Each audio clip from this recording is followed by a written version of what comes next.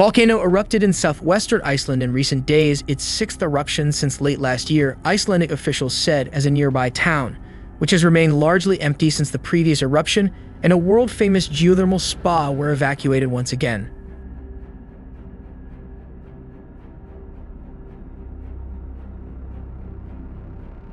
Volcanologists in Iceland closely monitor volcanic activity using a combination of seismic data, GPS measurements, and satellite imagery to predict eruptions.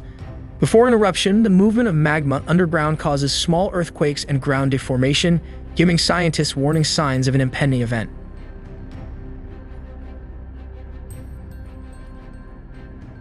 The Icelandic Meteorological Office said a nearly 2.5 mile long fissure was spewing lava on the Reykjanes Peninsula near the fishing town of Grindavik. But officials noted the lava flow was unlikely to affect the town.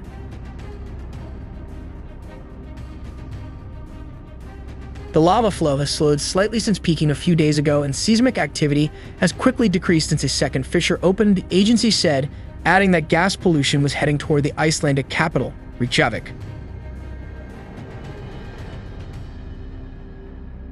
Iceland's foreign ministry said the impact of the eruption was limited to the immediate area and did not pose a threat to life as Grindavik, a town of about 6,000 people, had been evacuated and international and domestic flights were unlikely to be disrupted.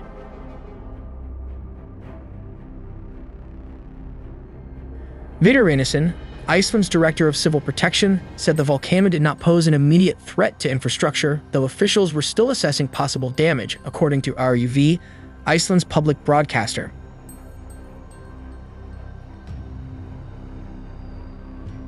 The Blue Lagoon, a popular geothermal spa in Grindavik, said Monday that it had been evacuated and would be temporarily closed. Several evacuations have been issued for Grindavik since the eruption in December, and between 10 and 50 residents have reportedly remained in the town despite warnings from officials.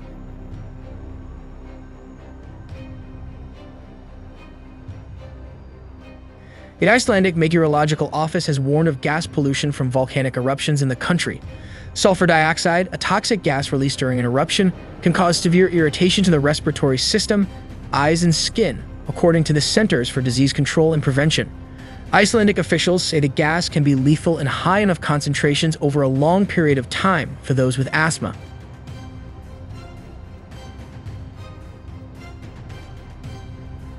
Iceland experiences several volcanic eruptions and earthquakes each year due to its position on tectonic plates. Thursday's eruption was Iceland's sixth since December, following eruptions in February, March, and May, the last of which lasted until late June.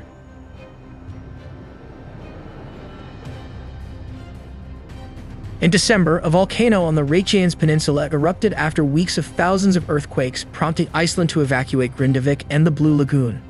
Tourism to the country has reportedly declined since the latest series of eruptions.